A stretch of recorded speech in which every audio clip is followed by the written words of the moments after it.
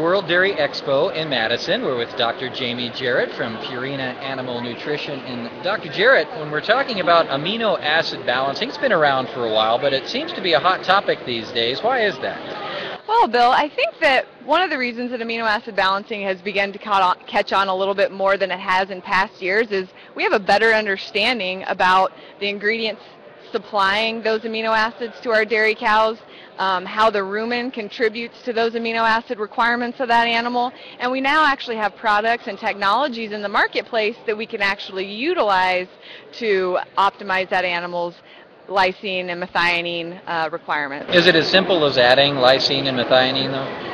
At the end of the day, it should be, but it's not quite that easy. There is an ideal ratio that these two amino acids need to be in in order to optimize milk production as well as component uh, production.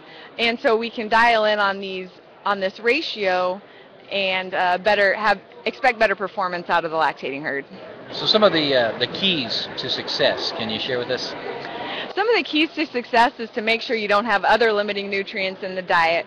For, for example, uh, energy. If energy is limiting in the diet, you may not see the response of amino acid uh, balancing that you would uh, that you would expect. Um, the other thing is to understand the other ingredients and what they're contributing to the diet, because what you're supplying with the supplemental amino acid may or may not be hitting that animal's requirement, so you may or may not be being as cost effective with that supplementation as you could be.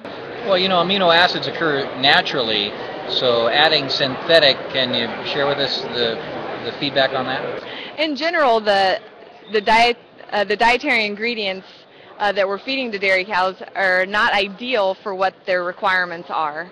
So we're really just trying to correct the imbalances. So for instance, we have this ideal amino acid profile in the milk, and we're trying to kind of mimic that in a way in the diet. That's what the swine and poultry people have been doing for 10 years now, and that's why they're on six and six-ish limiting amino acids and have done such a great job.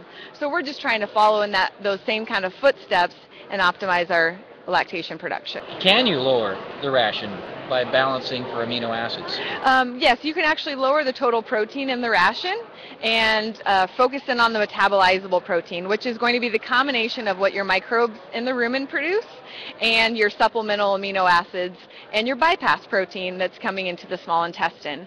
And so you can utilize the supplemental amino acids in conjunction with what we know as metabolizable protein, which is that rumen undegradable protein and our rumen degradable protein that our microbes are creating. Well, that's uh, good information. If there's more information that we can find, is there a place to go for that? Yes, you can go to our uh, Purina website um, and as well as our MetaPro, www.metapro.com. All right, well, thank you. Appreciate the time. Dr. Jamie Jarrett from Purina Animal Nutrition here at World Dairy Expo. Thank you.